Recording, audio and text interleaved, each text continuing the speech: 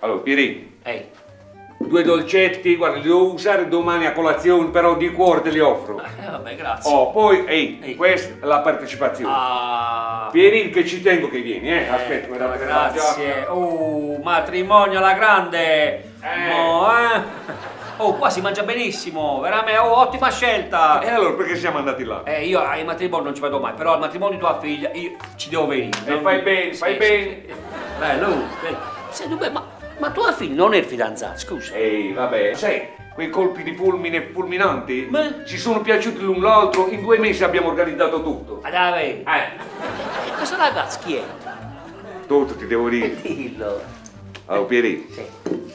bello, Eh, ingegnere nucleare, Oh. sacco di soldi, Oh. simpaticissimo, soprattutto innamorato. mo, voglio complimenti. Grazie, non Fortunato. potevo scegliere di meglio per mia figlia.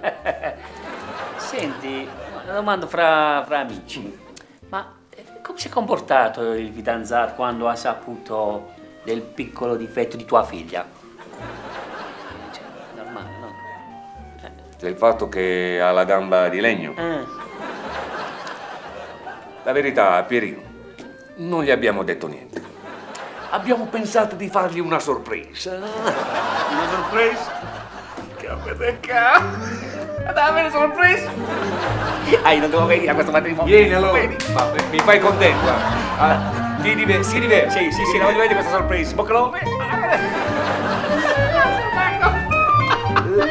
Non mi dire chiama Topolino.